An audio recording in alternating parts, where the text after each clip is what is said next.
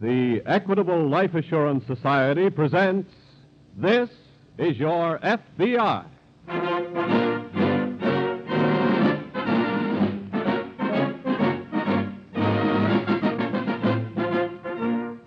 This is Your FBI, an official broadcast from the files of the Federal Bureau of Investigation, presented as a public service by the Equitable Life Assurance Society of the United States and the Equitable Society's representative in your community.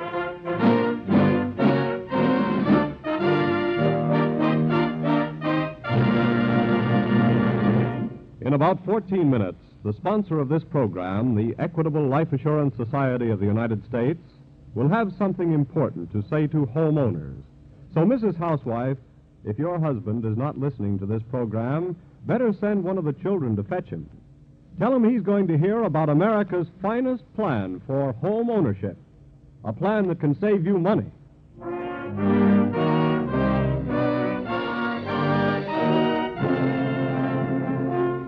Tonight's FBI file The Homicide Hideout.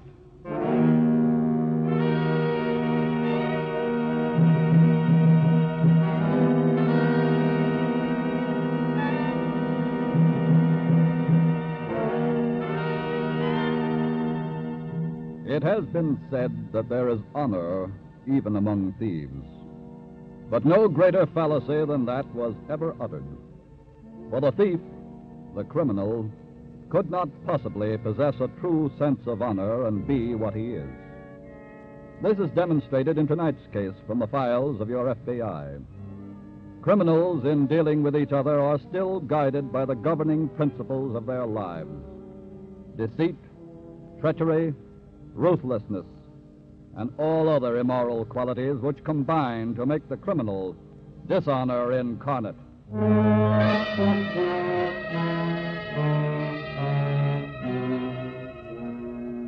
The weather beaten old farm, half hidden in a clump of trees, is dark and gives no sign of life within. But a shaft of moonlight slanting across the porch and through an open window falls across an old feather bed and the faces of two women. One is hard and middle aged, the other young and grotesquely scarred. Presently, the stillness is broken by the sound of an automobile coming up the trail from the main road. The girl is first awakened. Mom. Mom, wake up. Huh? Wake up, Mama. Somebody's coming. What? I said, wake up. There's a car coming up from the main road. Listen. You hear it? Uh, I got ears, Lena. Yeah, but who could it be? I don't know, and I don't care if it means business. He's pulling in here. You want me to go look out the window? We'll both go. Where's my slippers? Right down there. Oh, It's a man by himself. who is he? I don't know. Look, he's hurt. You see how he's holding himself? Yeah. This means business, all right. Stay right here, Lena. I'll go. Now, where's my wrapper? On the chair over there. Oh, Come on, open up, will you? Take it easy. Take it easy, mister. Well, Your name Benton? Mom Benton. that's right. Good. Now, just a minute. Let me in, will you? I was sent here. Who sent you? Chick Lansing. You got proof? Look, save the questions. Let me in. I'm bleeding. Okay, come ahead. I gotta sit down. Who are you? Look, can you pick up a doctor? I said, who are you? Red. Red Harper. What'd you get mixed up in? I can wait. I gotta have a doctor quick. quicker you answer questions, the quicker you get the doc. Okay. Three of us pulled a bank job today. We had to split up, and I made for here because I remembered Chick Lansing telling about you. Now, will you go what get a What kind of a trail did you leave? I drove north and, and circled to the south. I threw the cops off okay. How much money did you get? What difference does that make? How much did you get? Ten grand, my share. Then I'll take five thousand. Are you kidding? That's my price. I'm not giving you any five grand. Okay, mister, then you can bleed to death. Why, you dirty. Get out of here, mister. Uh. Hold on a minute, Lena. Put down that gun. He's about done for anyway. Look, Give me a talk, will you? I said it'll cost you five thousand dollars. Okay. Okay. You can have it. On one condition. I. I walk out of here alive. Hmm. Give me a hand with him, Lena. We'll put him on the couch. And then what? I'll run into town and get Doc Smith. If he ain't too full of whiskey. Call him a doctor after what he done to my face. I'm not forgetting that, Lena. We can't get no legal doctor to do this job.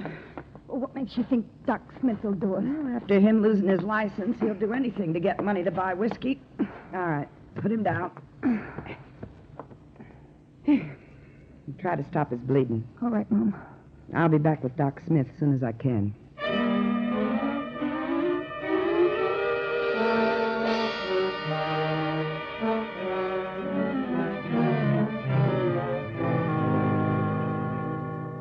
In the Cincinnati field office of the FBI, some hundred miles away, Agent in charge Willard sits at his desk waiting for a particular phone call. At noon, three bandits had held up the National Trust Company and escaped with nearly $30,000. Two special agents were assigned to the case, but as yet Willard has received no word from them. It is now shortly after nine o'clock. Willard speaking. This is Lynette, Mr. Willard. Well, it's about time, Lynette. What happened to you and Russell? We picked up a hot trail right after we got to the bank and didn't have time to report. What kind of a hot trail? We just now caught two of the bandits. What? We nailed them in a little hotel room. Good work. What about the other one? He's still on the loose. How? He's got the stick up car. Oh. What do you want us to do? Have the bandits talked any? Not yet. Discuss the fact with the U.S. attorney and arrange to file charges. Okay? Get a description of that car and the third man. I'll wait here for you. Right.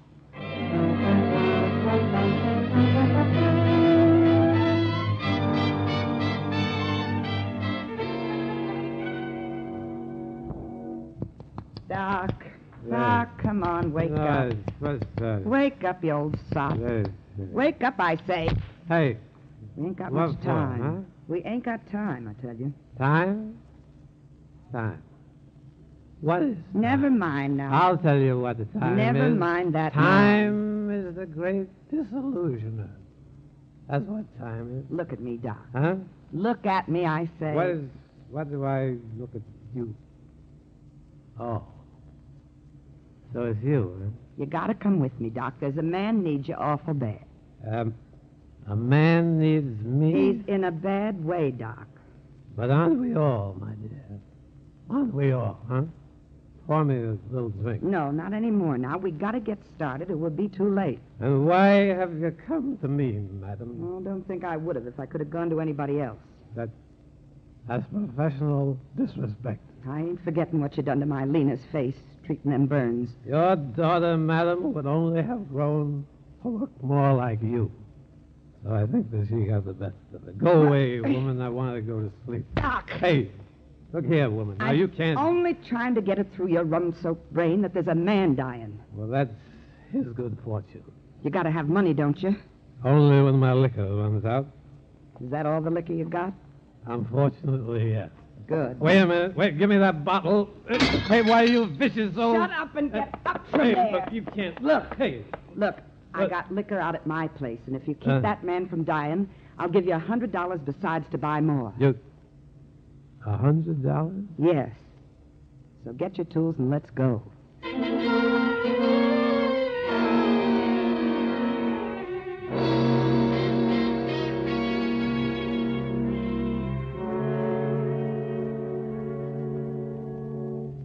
May I come in, Mr. Willard? Yes, come ahead, Leonard. Where's Russell? I left him giving all the details on the bank robbery to the U.S. attorney. Did the two prisoners furnish any information? They sure did. Did they identify the man still at large? His name is Red Harper. Here's his description. Harper, eh? And here's the description of the car he got away in. Good. We'll put out a wanted notice right away. We may not need it. Hmm, why not? Harper may be at a certain fugitive hideout about a hundred miles from here. How do you know? One of the two bandits we caught said Harper was pretty badly wounded and may have made for the hideout to get fixed up. You know exactly where the place is? It's a farm run by a woman and her daughter. And I think I can find it from what the bandit told me. Good. I'll get the alarm out anyway, and then we'll get started.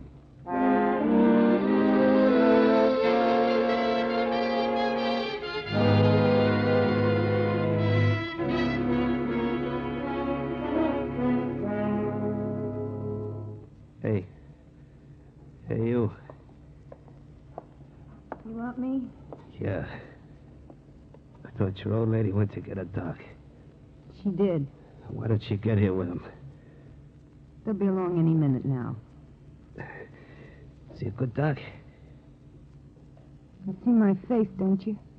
Yeah. Well, he done it. He made you look like that? Yeah. Yeah, he done it when he was drunk. That's how he lost his license. Drunk all the time. I want no guy like him working on me. Well, you can tell him that because here's Mom bringing him now. Right in here, Doc. We got him laying on the couch. Very well. Well, I see you come around, young man. Yeah. Go boil some water, Lena. All right, Mom. I'll go. get- Wait a minute. What's the matter? Your daughter told me all about this drunken bum. What's that? What's the idea of bringing him to work on me? Are you insinuating, sir, that I am incapable of performing? I want another doc, understand? Huh? You asked me to handle this. I didn't send for you. It's this doc, mister, or none. Okay. You promised me a drink, madam. Oh, yeah. Here's the jug. Thank you. I'll go help Lena. I'll be right back. Doc, Yes? I want to talk to you a minute. Without them. We got time, ain't we? What's troubling you? Close that door. Just a minute, just a minute. Quit drinking that stuff and close that door. Ah. Very well. Okay. Look, Doc, listen to me. You're the only chance I got. Chance? What a figure chance is. By her we're born, by her we live. Never mind that stuff. Listen to me. Huh? I got a proposition. You cannot proposition with chance. I'm talking about you, Doc. I don't know how much she was going to give you for this job, but if you don't drink no more of that stuff, you can make a bundle. Well, what's that you say? Here's my proposition. Yeah? She was going to stick me five grand. Hmm. Probably give you only 50 or a 100 bucks. Yeah. But if you'll get hold of yourself and fix me up okay, we'll, we'll cut her out of it. And I'll give you two grand. Fine. Let's drink to two grand. Put down that jug. It's truly a wonderful anesthetic, this. Doc, lay off the booze, will you? This is one more, sir.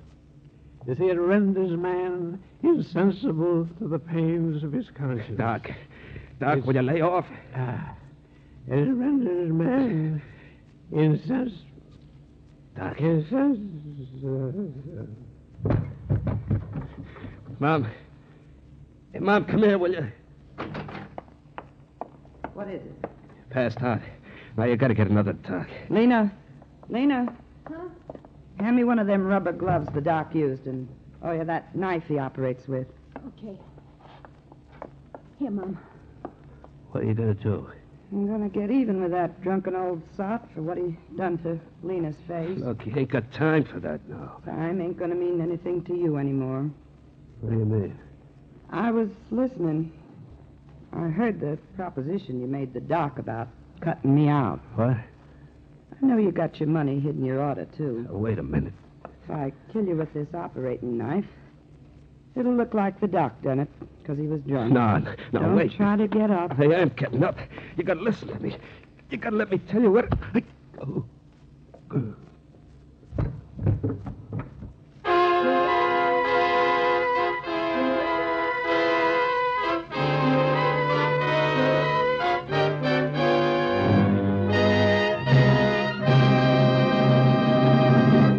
And now, before the FBI file on the homicide hideout resumes, as it will in just a moment, here's that important message for homeowners and home buyers.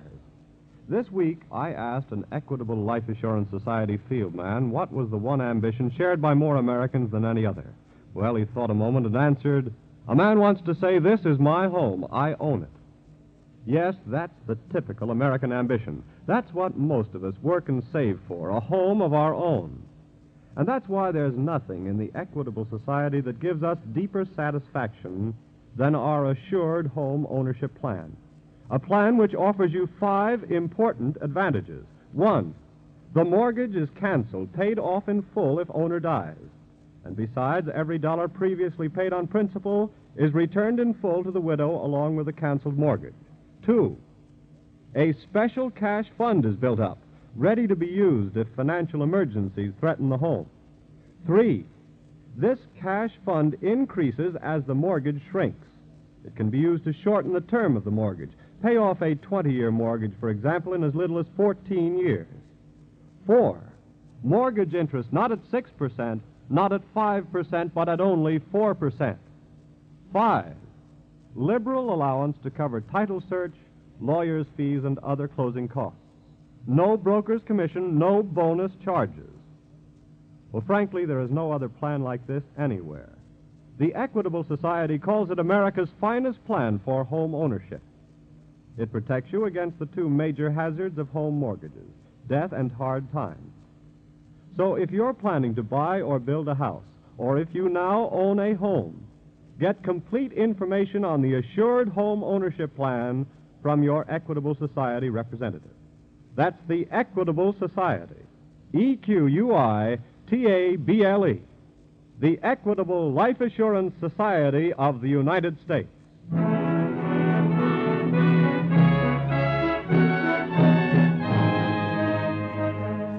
And now back to the FBI file The Homicide Hideout.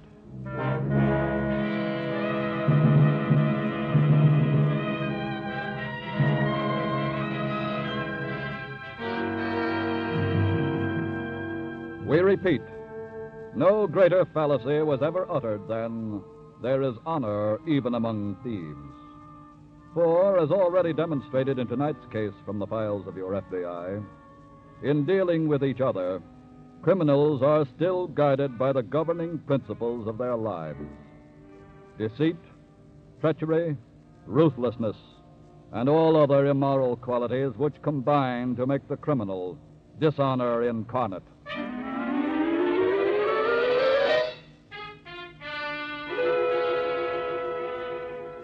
Shortly after the killing, Agent in Charge Willard of the Cincinnati office of the FBI and Special Agent Lynette reached the farm where they had reason to believe the wounded bank bandit Red Harper was hiding out. Inside, they found the man known as Doc Smith sitting on the floor in a daze. He was wearing a pair of rubber gloves. His right hand held a bloody scalpel. A few feet away lay the body of the bandit, Harper. Smith is just concluding a hazy account of events. Well, I. I remember the woman bringing me here to operate on that man. Yes? But after taking two or three drinks from a jar of liquor. That The jar that's had- broken on the floor here? Yes, and well, after that, I don't remember anything else. When the woman drove into the village for you, were you intoxicated then? I'm intoxicated most of the time, Mr. Lannert. And you're a doctor. I was a doctor. Is liquor the reason you're not a licensed doctor anymore? Yes. You say you don't even remember preparing to operate on that man? No, I don't. I. But judging from the rubber gloves I'm wearing, I. Seems evident that I did prepare to. It also seems evident that you killed him. I. I haven't examined the body since I came to. His throat was slashed. Well, then I. I guess I'm guilty. Yes, it's possible that you're not. What? The woman and her daughter are gone. They left in this bandit's car and apparently with his share of the loot from the bank robbery. Yeah, but even. You're wearing so, the rubber gloves, all right, and holding the bloody scalpel, but. You passed out from the effects of liquor, right? Yes. Well, you would hardly have gotten up, put on rubber gloves, cut the man's throat, and lay back down again beside that broken jar, then. What do you think, Lynette? I think you're right. They could have killed him, put the gloves on you, Doctor, put the scalpel in your hand, and left you to take the blame for the murder. Well, I'm sure they hated me enough to do that. Why? Well, you see, the girl's face was hideously scarred from burns which I treated when I was drinking. I see. Lynette, Mm-hmm. put out a wider alarm in that car and include the woman and the girl this time. Okay. And for the time being, Doctor, you'll remain in our custody.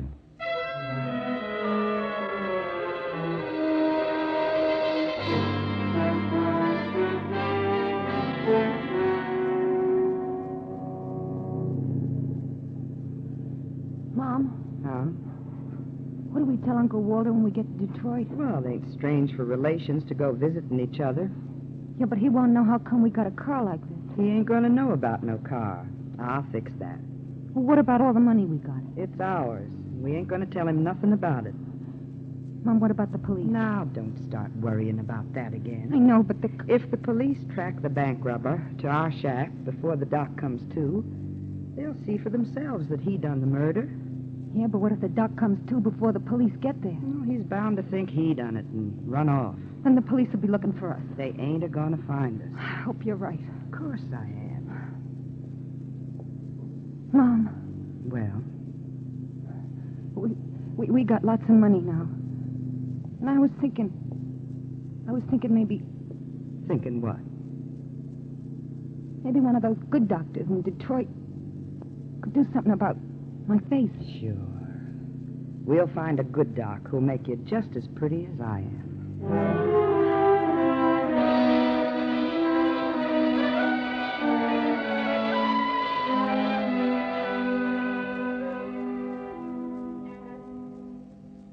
Good morning, Lynette. Morning. Any results on the alarm we put out last night, Mr. Willard? No, not yet. Did you arrange to keep Smith in the holdover all right? Yes, he's available on a moment's notice if we need him. Good. Now all we need is a break on that alarm. I'll take it. Willard speaking. Good, put him on. Got something? I hope so. Detroit office calling. Hello? Yeah? Yeah. Fine. Start checking hotels, small ones in particular. Lynette and I will take the next plane. Right. What is it? Detroit police found the missing car abandoned there early this morning. Any trace of the woman and girl? No, but it's a break to know what city they're in. I'll get Smith and we'll take the next plane for Detroit. Come on.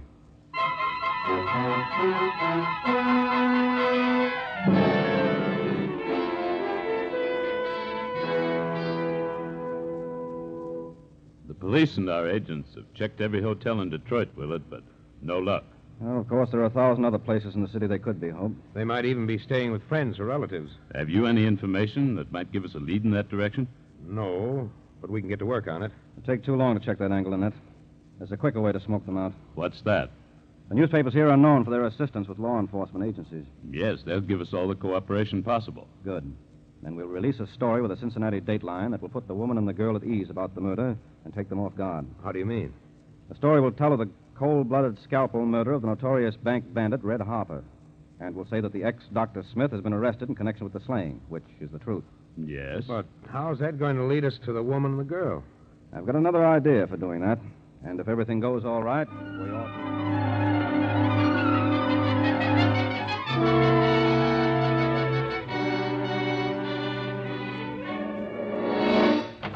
Mom! Mom! What is it, Lena? Look what I saw in the evening paper. Well, It turned out just like you said. Doc Smith's been arrested for the murder of that bank robber. Look. Oh, isn't that wonderful? just like I told you all along. We ain't got nothing to worry about. Yeah, I know. Oh, uh, you didn't let on to your Uncle Walter about what you read, did you? No, of course not. Oh, Mom. Well, oh, Well, you said when we got here to Detroit, maybe we'd get a fine doctor to see if he could do something about my face. that's right.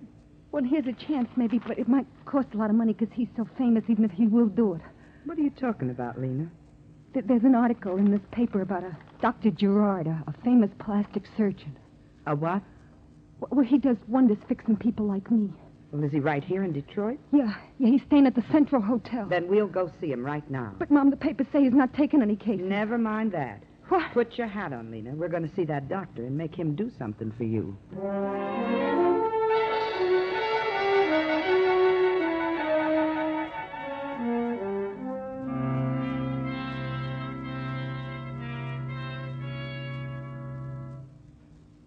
Seventeen twenty-eight. This is his room, Mom. Well, knock on the door, Lena. But what if he won't take my case? Oh, he will when I'm through talking to him. Yeah, but if you you can't. won't knock on that door, I will. Famous or not, don't scare me.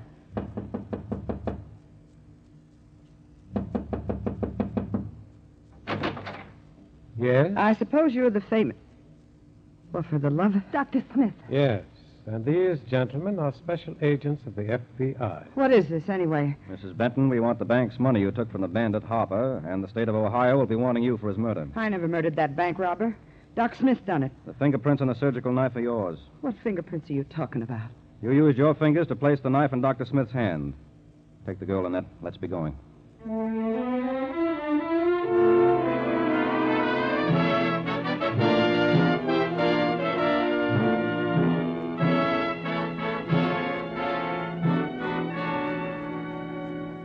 Benton was returned to the state of Ohio and tried for the murder of the bank robber, Harper. She was sentenced to life imprisonment. When one criminal meets death at the hands of another criminal, as in tonight's case from the files of your FBI, we are inclined, humanly enough, to say good riddance and let it go at that. But the law does not let it go at that.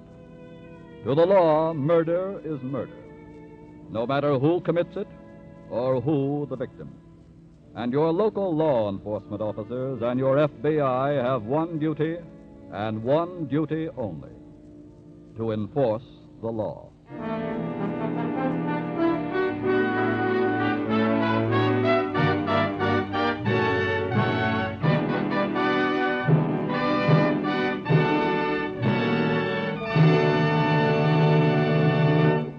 Now, just a few more quick facts about the Equitable Society's Assured Home Ownership Plan. If you're planning to buy or build a house, this plan can save you money. Or if you wish to finance your present home, here also this plan can save you money. So let me suggest that you look into the Assured Home Ownership Plan without further delay. The Equitable Society's representative nearest you will gladly explain the plan clearly and interestingly. He has literature that gives full details. Ask your Equitable representative today about this Assured Home Ownership Plan, America's finest plan for home ownership. Look in the phone book for the name the Equitable Life Assurance Society.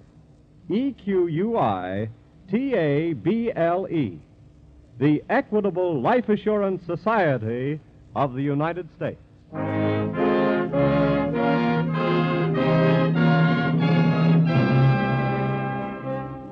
Next week, we will bring you another colorful story from the files of the Federal Bureau of Investigation The Slaughterhouse Swindlers.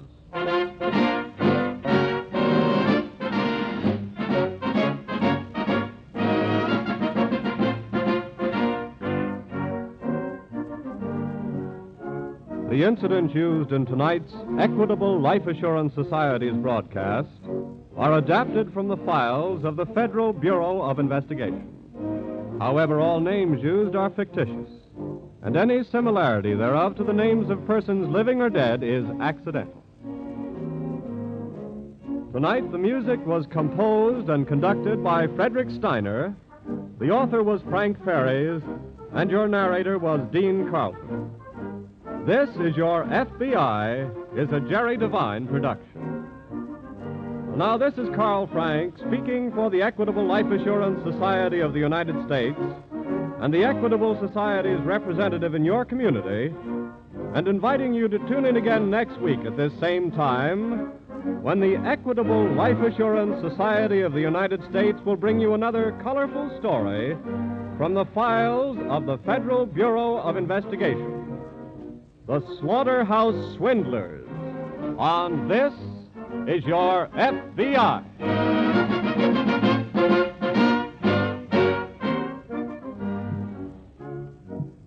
This is ABC, the American Broadcasting Company.